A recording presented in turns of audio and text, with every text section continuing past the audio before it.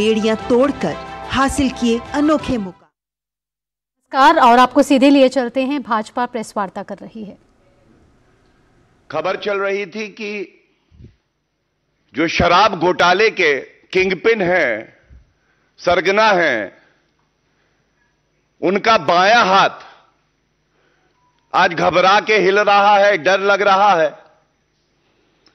बाया हाथ क्यों कहा? दाइना हाथ जो था, जिसको कट्टर ईमानदार का सर्टिफिकेट, शराब घोटाले के किंगपिन, पापी आपके अरविंद केजरीवाल देते थे, वो तो साढ़े सात महीने से जेल में है। कहना गलत नहीं होगा, भ्रष्टाचार की साढ़े सत्ती। अरविंद केजरीवाल पर भी असर कर रही है। आज उनका दूसरा हाथ संजय सिंह, उनके यहाँ पे भी जाँच एजेंसियों की रेड होती है। और इस मंच से जो तीन प्रमुख बिंदु हम उठाना चाहेंगे सबसे पहले इस पूरे शराब घोटाले में यह देश की जनता और दिल्ली की जनता जान चुकी है कि कोई सरगना है, किंगपिन है तो वो अरविंद केजरीवाल है। उन्हीं के इशारे पे यह शराब घोटाला दिल्ली में हुआ है। लेकिन तीन तथ्य चिंताजनक है, गंभीर है। यह भारत की जनता के समक्ष रखना आवश्यक है। सबसे पहला एक्यूज दिनेश अरोड़ा इन्होंने कबूला है दिल्ली के मुख्यमंत्री आवास पर। एक बैठक होती है जो शराब कारोबारी हैं। तो सबसे पहला प्रश्न यह है कि मुख्यमंत्री आवास ना हो गया घोटाले का अड्डा हो गया। वहाँ वसूली हो रही है। कमीशन तय हो रही है। और यह बात कोई और नहीं कहता है, जो एक्यूज्ड है दिनेश अरोड़ा, ये कबूलते हैं। दूसरी बात देखिए, कितनी चिंताजनक है। अरविंद केजरीवाल के इशारे पर संजय सिंह कहते हैं कि 32 लाख रुपया। पापी आप अराजक अपराध पार्टी के कोष में दो। अब एक सांसद वसूली करता है मुख्यमंत्री आवास पर बैठकर। इससे यह भी स्पष्ट हो जाता है कि 32 लाख की रिश्वत जो कि चेक से ली गई है, बाकी करोड़ों रुपया हो सकता है जाँच की परिधि में सामने आ चुका है, आगे भी आएगा। कैश ट्रांजैक्शन में करते हैं। लेकिन ये 32 लाख रुपए अरविंद केजरीवाल के कहने पे एक सांसद वसूली कर रहा है। यह चिंताजनक है। और इसलिए भी यह चिंताजनक है कि यह अपने आप को आम आदमी पार्टी बताते थे। आम आदमी लाल बत्ती तोड़ दे तो कार्रवाई हो जाती है। अब ये पापी इतने खास हो गए कि ये करोड़ों का शराब घोटाला करेंगे और उसके बाद कहेंगे कि हम पे कार्रवाई जो हो रही है, ये राजनीतिक द्वेष के कारण हो रही है। आया था जनता का लाल बनकर आया था जनता का लाल बनकर। रह गया शराब कारोबारियों का दलाल बनकर। जो व्यक्ति अपनी राजनीति की शुरुआत करता है यह कह के कि वीवीआईपी कल्चर नहीं होना चाहिए, भ्रष्टाचार को हम समाप्त करेंगे। और आज उस अरविंद केजरीवाल में इतनी हिम्मत नहीं है।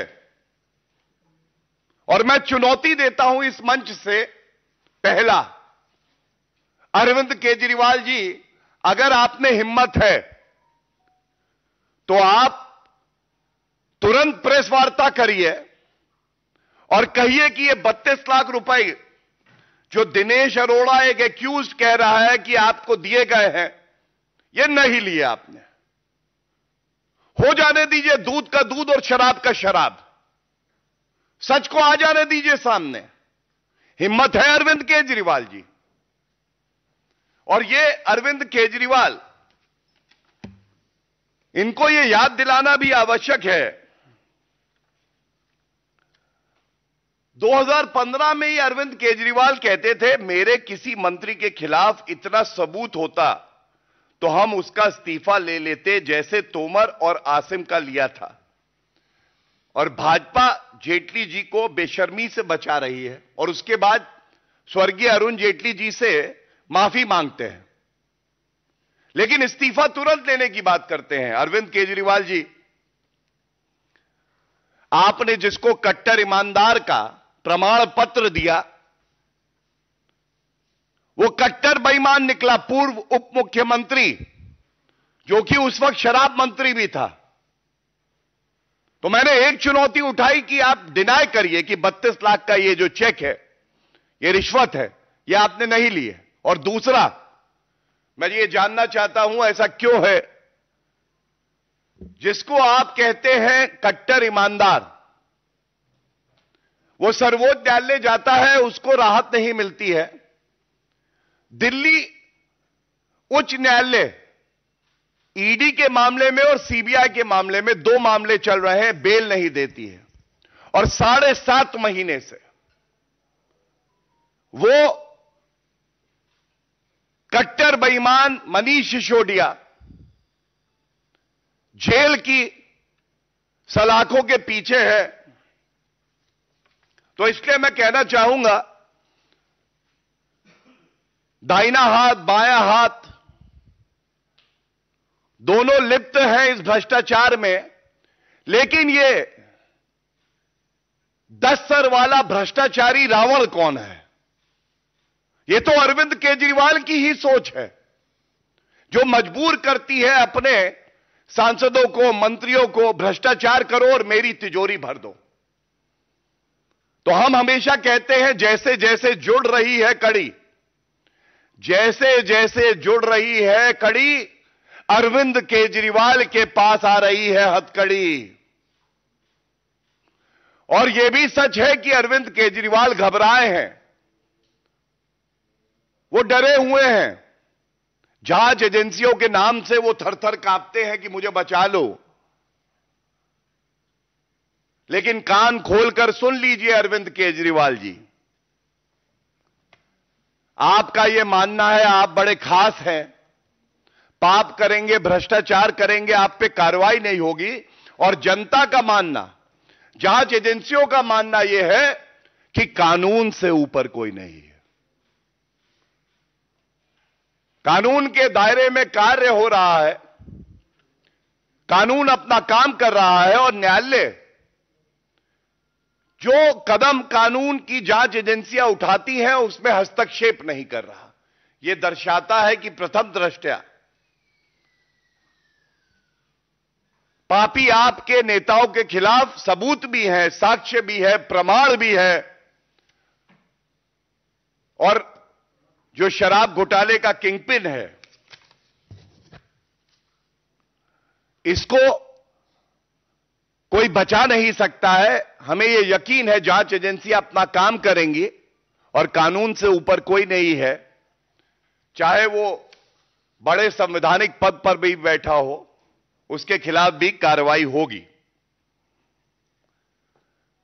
अब इस बिंदु पे जो बातें हमें रखनी थी, वो मैंने आपके समक्ष रखी। ये बड़े सवाल हैं। अरविंद केजरीवाल जी को चुनौती है। वो प्रेस वार्ता करें, जो प्रश्न हमने उठाए हैं, जो तथ्य रखे हैं, उनका खंडन करें।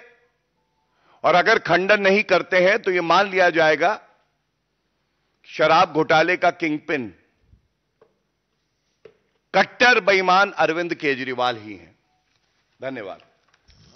दूसरी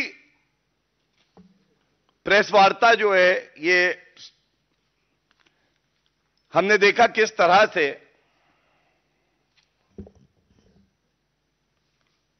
पत्रकारिता का चोगा ओढ़कर। भारत विरोधी गतिविधियों में लिप्त।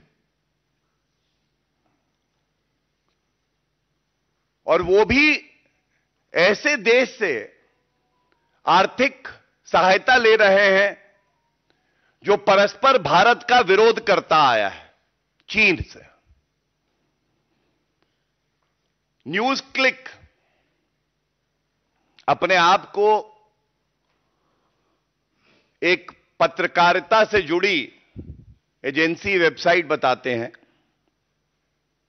उनके खिलाफ कार्रवाई हो रही है। और बड़ी ज़िम्मेदारी से यहाँ पे यह बताना आवश्यक है। गंभीर आरोप गंभीर आरोप राष्ट्र सुरक्षा से जुड़े हुए जो आरोप है, वो लगाए जा रहे हैं। यह पूछा जाना चाहिए कि क्या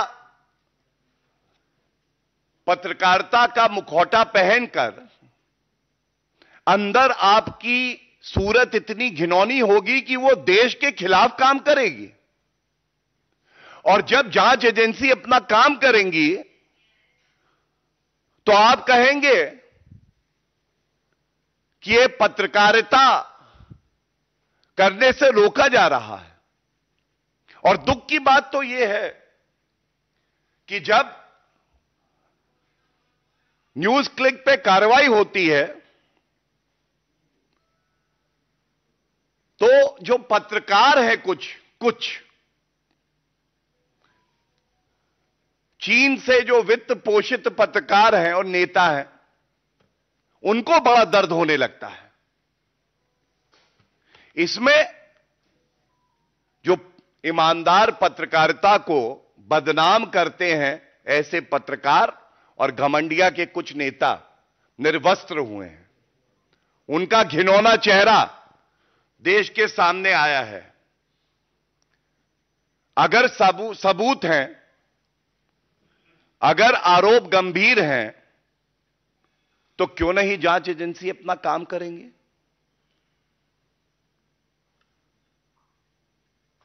अगर कोई विदेशी शक्ति भारत को कमज़ोर करने के लिए फंडिंग करती है और उस पर ठोस कार्रवाई जाँच एजेंसी करती है तो घमंडिया के नेताओं को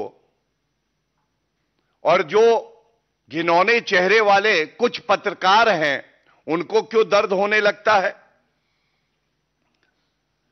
इनकी आस्था न्यायालय में नहीं है, क्योंकि आज की खबर है कि दिल्ली के कोर्ट ने जो फाउंडिंग एडिटर है न्यूज़ क्लिक के,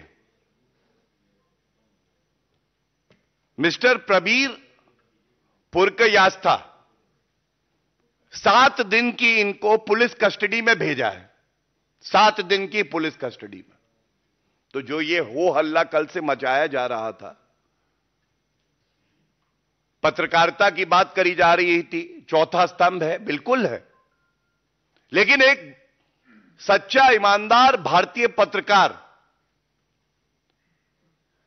एक विरोधी देश से फंडिंग नहीं लेगा। वो भारत को दीमक की तरह खाएगा नहीं। और इसीलिए बिल्कुल स्पष्ट ये यहाँ से बताना चाहते हैं कि पहला पुख्ता सबूत है जो खबर आ रही है, इसीलिए मनी लॉन्ड्रिंग का और यूएपीए का मामला दर्ज किया गया है। और जो पत्रकार और नेता भारत विरोधी गतिविधियों में लिप्त पाए जाएँगे जिनकी सोच चीनी और असली चेहरा पाकिस्तानी होगा, वो ये ना सोचे कि उन्हें बख्शा जाएगा। आज भारत की जनता यह उम्मीद करती है, आदरणीय श्री नरेंद्र मोदी जी की सरकार से, कि कोई भी व्यक्ति अगर भारत विरोधी गतिविधियों में लिप्त है तो उसके खिलाफ सख्त से सख्त कार्रवाई होनी चाहिए। और ये जो 303 सीटें भारतीय जनता पार्टी को जनता ने दी, जो आशीर्वाद दिया यह इसीलिए दिया था क्योंकि जनता को विश्वास था। आदरणीय प्रधानमंत्री श्री नरेंद्र मोदी जी, जो टुकड़े टुकड़े गैंग के सदस्य हैं, उनको बख्शेंगे नहीं। कानून के तहत सख्त से सख्त कार्रवाई होगी। और इसी कड़ी में मैं आपको बता दूँ, न्यायालय में, कानून में, संविधान में, चाहे वो घमंडिया कांग्रेस हो, चाहे और लोग हों, जैसे संजीव भट्ट, तीस्ता सीतलवद, ये लोग सोचते हैं ये कानून से ऊपर है। मैं बताना चाहूँगा कि सर्वोच्च न्यायालय का अभी फैसला आया संजीव भट्ट बेबुनियाद आरोप सरकार पे लगाते हैं, उनकी तीन याचिकाओं को खारिज किया गया और तीन लाख रुपए की कॉस्ट लगाई गई। तीन उनकी याचिकाओं को खारिज किया गया और तीन लाख की कॉस्ट लगाई गई। क्या कोई घमंडिया का नेता इस पे टिप्पणी देगा? और ये वो कांग्रेस पार्टी हो, टीएमसी हो, समाजवादी पार्टी हो, पापी आप हो, कुछ दिन पहले लोकतंत्र का अभिव्यक्ति की आज़ादी का गला खुद घोट रहे थे चौदह वरिष्ठ पत्रकारों को। बॉयकॉट किया इन्होंने। केवल इसलिए कि वो पत्रकार अपना काम ईमानदारी से कर रहे थे। आप उनसे सहमत हो या ना हो। आप एक पत्रकार को उसका काम करने से रोक नहीं सकते हैं। देश की जनता ने इस घमंडिया को, इंडी अलायंस को बॉयकॉट कर दिया। ये ईमानदार पत्रकारों को क्या बॉयकॉट करेंगे? और इसीलिए आज सवाल है कि जब न्यूज़ क्लिक जैसी चीनी फंडेड एजेंसियों पे कार्रवाई होती है तो घमंडिया राहुल गांधी प्रमोद तिवारी तमाम ऐसे नेता हैं जो बाहर आ जाते हैं इनका बचाव करने तो इतना घबराए हुए क्यों हो? कहना गलत नहीं होगा थरथर क्यों काँप रहे हो? चीन से कांग्रेस के क्या लिंक है? यह हम सब जानते हैं। दो करोड़ से ज़्यादा की रिश्वत लेना एमओयू करार साइन करना पार्टी टू पार्टी जो आज तक सार्वजनिक नहीं हुआ। और उसके बाद जब ईमानदार जाँच एजेंसी अपना काम करती है तो आप दबाव बनाने का कार्य करते हैं। मैं इतना ही कहूँगा, कोई भी चीनी दलाल, कोई भी चीनी दलाल, वो कानून से ऊपर नहीं है। कानून अपना कार्य कर रहा है और यह सवाल देश की जनता पूछ रही है कि जब देश की जनता जाँच एजेंसियों के साथ खड़ी है, प्रधानमंत्री नरेंद्र मोदी जी के साथ खड़ी है तो क्या मजबूरी है राहुल गांधी की, ममता बनर्जी की, घमंडिया के जितने घटक दल हैं उनकी, कि वो ऐसी शक्तियों के साथ खड़े हैं जो भारत का भला नहीं चाहती। इन सबसे निपटा जाएगा कानून के तहत निपटा जाएगा और किसी को बख्शा नहीं जाएगा। यह बात बिल्कुल स्पष्ट इस मंच से हम लोग करना चाहते हैं। धन्यवाद। कोई प्रश्न किसी का? एक एक मिनट। पहले फ़र्स्ट प्रेस कॉन्फ्रेंस पे ले लेते हैं और उसके बाद सेकंड वाले सही है प्रज्ञा। Thank you please